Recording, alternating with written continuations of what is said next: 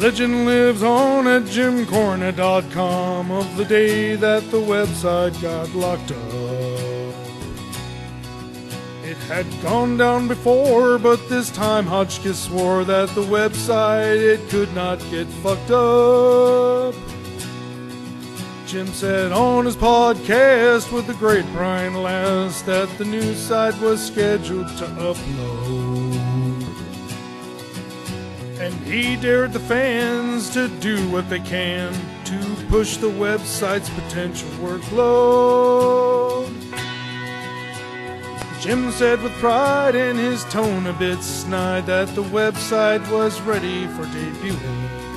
All the server we needed will surely be a breeze. We will set to post Saturday morning at five minutes till ten. A sense of doom creeping in, repeating the 505 error. The cult flooded the server with such a fervor. Hotchkiss stared at the screen in terror.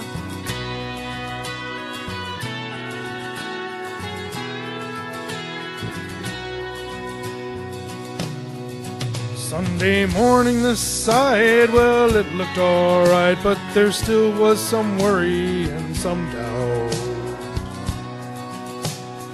Right from the start, 50 people in the cart, and then the whole thing, well, it just timed out. The man at the website said that he'd make it right, with rage spreading all over Jim's face. More server was applied, and that's when Jim replied, Well, fuck, why didn't you do that in the first place?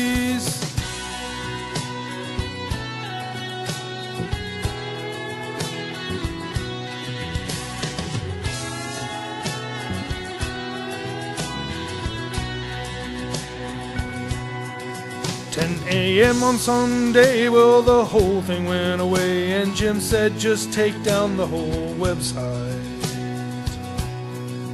Might as well just give up if the website is fucked.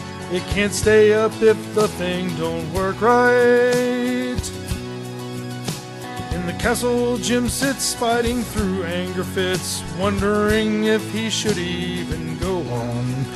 Server limits haunt him while the memories taunt Jim of the wreck of JimCornette.com.